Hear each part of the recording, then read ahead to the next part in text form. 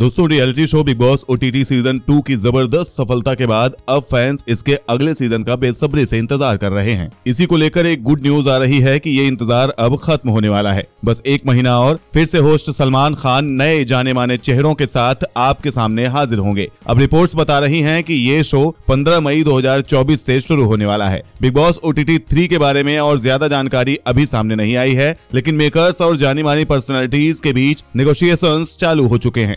किसे कितनी रकम मिलेगी इस पर चर्चा हो रही है। साथ ही कौन कौन इस बार नज़र आएगा, इसका भी दौर जारी है। फ़िलहाल रिपोर्ट्स ये बता रही हैं कि मेकर्स अगले महीने से इसे प्रीमियर करने की प्लानिंग कर रहे हैं। आपको बता दें, टीवी एक्ट्रेस अंकिता लोखंडे और उनके पति विकी जैन बिग बॉस 17 में आए थे। विकी को लेकर अफवाह उड़ रही थी कि वो Bigg Boss OTT season three का हिस्सा होंगे। हालाँकि उन्होंने अफवाहों को सिरे से खारिज कर दिया है और बताया है कि उनका ऐसा कोई प्लान नहीं है। रिपोर्ट्स के अनुसार, इस सीज़न के लिए दलजीत कौर का नाम सामने आ रहा है, जो इन दिनों अपनी दूसरी शादी के टूटने की खबरों से चर्चा में है। इनके अलावा शहजादा धामी और प्रतीक्षा होनमुखे का नाम भी लिया जा रहा है, जिन्हें हाल ही में ये रिश्ता क्या कहलाता है सीरियल से निकाल दिया गया है। इसके पीछे की वजह, सेट पर उनका बुरा बर्ताव बताया जा रहा है। टीवी एक्टर अरहान बहल को भी मेकर्स ने अप्रोच किया है, जिन्होंने मन की आवाज़ प्रतिज्ञा सीरियल में कृष्णा सिंह बनकर घर घर में पहचान बनाई थी। वहीं शो की टीआरपी बढ़ाने के लिए इस बार भी यूट्यूबर्स को लाया जा रहा है। मीडिया रिपोर्ट्स के मुताबिक यूट्यूबर तुषार सिलावट, रोहित जिंजुरके अयांशी शर्मा और संकेत उपाध्याय को भी अप्रोच किया गया है। ये सभी इस बार शो का हिस्सा हो सकते हैं।